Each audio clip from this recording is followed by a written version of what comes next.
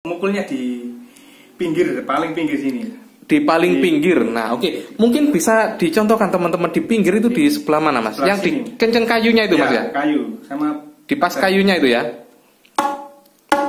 Nah, ini sama tangan yang dua ini untuk meredam ini di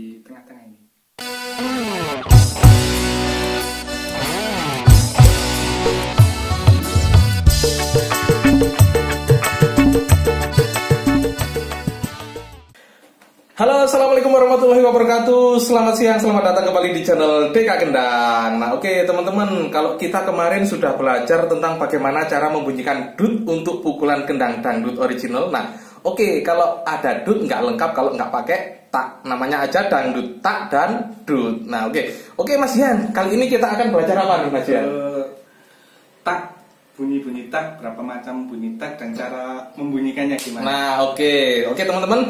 Kalau teman-teman penasaran bagaimana cara eh, membunyikan tak yang benar, nah, oke, kita simak langsung video berikut ini. Nah, oke teman-teman, kita sudah sampai di pelajaran yang kedua yaitu bagaimana cara membunyikan tak untuk kendang dangdut. Nah, tapi sebelumnya ya, kita di sini eh, niatnya adalah berbagi. Jadi ini murni benar-benar pukulan kendang versi kita. Jadi kalau teman-teman di rumah atau teman-teman semuanya misalkan eh, master kendang atau guru-guru kendang kalau punya pukulan yang lain versi yang lain itu silahkan silahkan saja. Niatnya kita di sini hanya berbagi. Nah, oke langsung saja Mas Yan Eh, untuk pukulan kendang tak ini ada berapa macam Mas? oke di tak itu ada empat macam Ada empat macam. Ya, empat yang macam. pertama gimana Mas? pertanyaan pertama gini ini namanya tak Ya. saya namanya tak ya Ya, gitu aja ya. ya Untuk yang kedua, kedua tung ya. Untuk yang ketiga, ket ket ya. Keempat. Untuk yang keempat, plak plak. Nah, Plak. jadi ada tak, tung tung, ada ket sama plak. Nah, oke. Kita mulai dari yang pertama dulu ini Mas Yan. Yang paling umum, yang paling sering dipakai ini Mas Yan. Yang tak gimana sih? Untuk tak itu kita eh, mukulnya di pinggir paling pinggir sini Di paling Di- pinggir. Nah, oke. Mungkin bisa dicontohkan teman-teman di pinggir itu di sebelah mana Mas? Sebelah Yang di kenceng kayunya itu Mas ya? kayu sama Di pas kayunya itu ya. Nah, ini sama tangan yang dua ini untuk meredam ini di tengah-tengah ini meredam di tengah. ya meredam meredam sustennya biar nggak panjang Nah, oke ini jadi ada tips penting ya ini bagi teman-teman yang menggunakan mika serbuk ya, mika serbuk atau mika sahi itu biasanya kan sustennya panjang ya. Kalau nggak ditahan gimana Mas kalau nggak ditahan?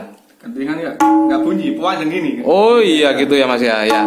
panjang Ya, harus ditahan, dan ya, meredam diredam. Nah, seperti itu ya.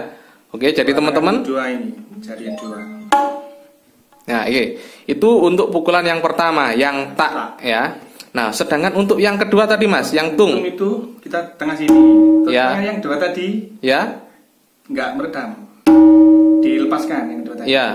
Lepas. Jadi ini relatif mudah Mas ya. Ya. Jadi teman-teman semuanya pasti bisa ya kalau untuk pukulan tung ini ya. Hmm, ini dilepas Ya. Untuk yang ketiga Mas, Ketika ket di Ket. sini nah oke. sini namanya Dua jari Mas atau satu jari? dua jari ini Dua jari. terus satu nggak enak bunyinya Oh gitu ya, kurang mantep ya. rapet Oh ya kurang rapat. Ini. Ya oke. Seperti itu. Ya. Itu pukulan ket. Ket. Ya. Sedangkan untuk yang keempat Mas, pukulan apa tadi? plak Untuk plak. Nah ini mungkin untuk kendang koplo Mas ya. Kalau plak ini Mas. ya? koplo biasanya Untuk Pakai koplo ya. jet-jet gitu Ya berapa jari Mas kalau plak Mas? kalau saya pakai tiga jari ini Tapi Tiga jari. pukulnya di tengah Di tengah pas ya Mas ya. teka serbunya Oh gitu. nah ini Oh seperti itu Mas ya. Ya. Kalau untuk mikasah ini sebenarnya boleh nggak sih Mas untuk dikoplo itu sebenarnya untuk dikeplak di tengah itu boleh nggak sih Mas sebenarnya? boleh aja tapi nggak sering-sering nanti bisa lepas serbunya Oh gitu ya. Kalau lepas beli lagi gitu aja ya Mas ya. Oh iya ya nggak masalah ya. Ya oke. Jadi eh, untuk lebih afdolnya sekarang bagaimana kalau kita satukan dengan pukulan dutnya Mas. Jadi biar eh, teman-teman itu ngerti bagaimana taknya sama dutnya. ini saya contohkan eh, pukulan dangdut ya Ya dangdut aja Mas. dangdut itu cuma taknya dua pukulan saja dua macam aja Jadi berapa kali Mas? ket sama tak Hanya pakai ket sama tak ya. Oke taknya aja Mas taknya.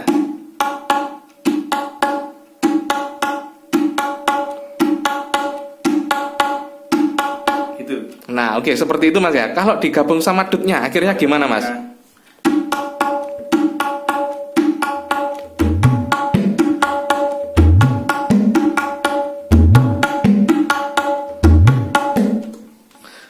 Oke, seperti itu ya teman-teman. Nah, untuk lebih afdolnya lagi, coba kalau kita coba dengan sebuah lagu gimana? Ya, boleh. Oke, oke Mas ya. Kita tunggu.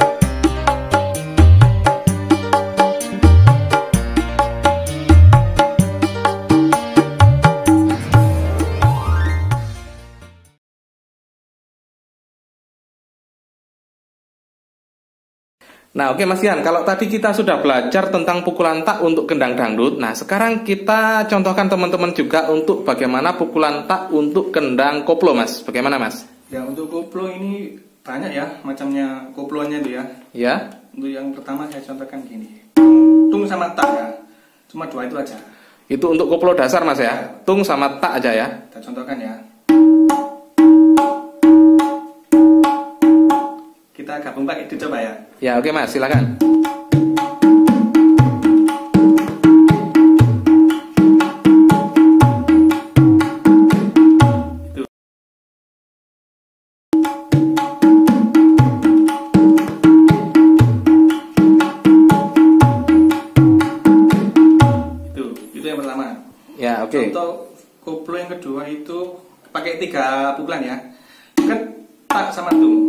Oke, silakan Mas.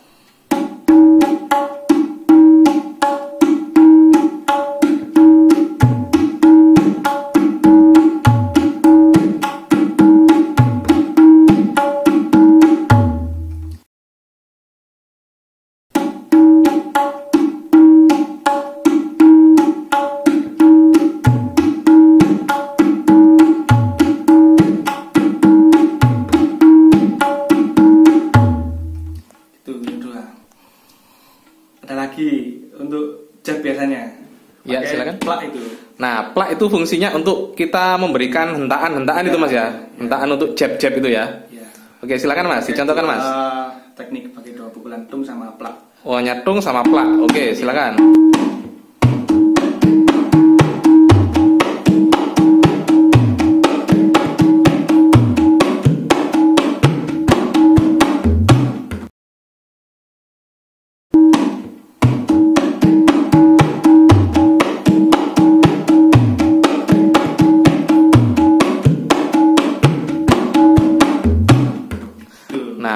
Itu tadi Mas ya. Ya. Nah, oke, teman-teman, jadi ini tadi kita sudah belajar bagaimana teknik pukulan tak untuk kendang dangdut ya. Untuk kendang dangdut tadi kita hanya pakai dua Mas ya. Dua. Hanya tak sama Ket.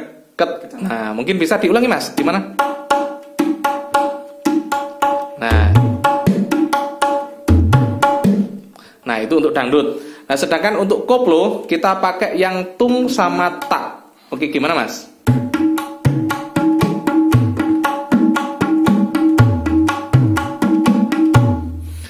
Untuk koplo yang selanjutnya yang kita pakai tiga pukulan ada ket sama tung sama tak.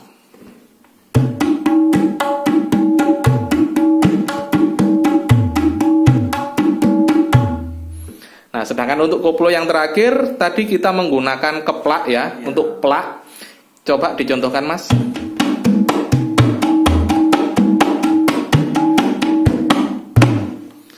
Oke, jadi itu tadi ya teman-teman macam-macam pukulan tak untuk kendang dangdut dan juga untuk kendang koplo. Nah, oke mungkin untuk pelajaran yang kedua di video yang kedua yaitu tentang bagaimana cara membunyikan kendang tak. Sampai di sini dulu kita akhiri ya. Sampai jumpa di pertemuan selanjutnya nanti kita bahas untuk tutorial-tutorial kendang yang lain. Oke. Saya akhiri wassalamualaikum warahmatullahi wabarakatuh. Selamat berjumpa di tutorial selanjutnya.